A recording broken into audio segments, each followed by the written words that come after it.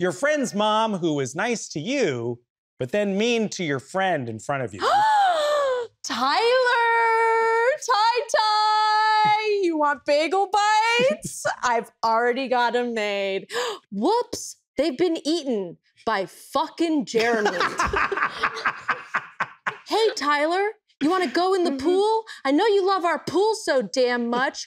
Oops, you can't. Jeremy shit in the pool last week.